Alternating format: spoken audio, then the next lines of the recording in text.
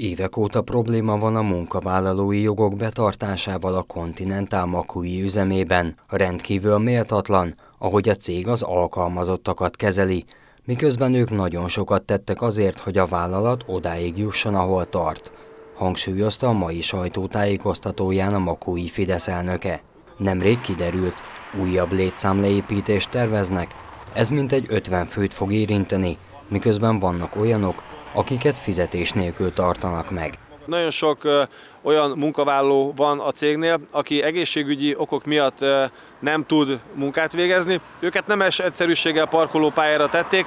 A munkaszerződéseket ugye nem szüntetik meg pont azért, hogy ne kelljen nekik a végkielégítést kifizetni, viszont ezáltal jövedelmük sincs ezeknek a munkavállalóknak. Úgy gondolom, hogy sokkal nagy vonalúbb lenne a cég részéről, hogyha először ezekkel az emberekkel rendeznék a munkaügyi kérdéseket, és megpróbálnak nekik abba segíteni, hogy az életüket tovább tudják folytatni.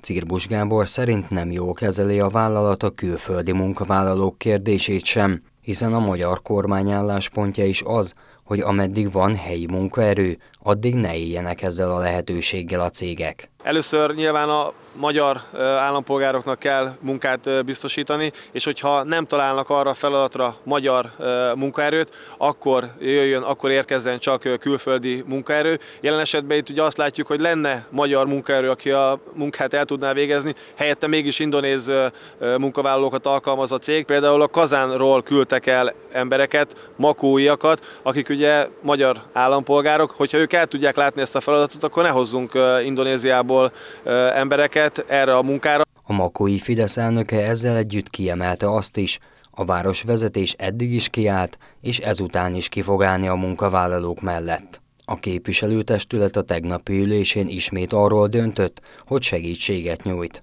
Első körben 120 ezer forint támogatást biztosít az önkormányzat a 2023. szeptember 1 és 2023. december 7 között elbocsátott dolgozóknak.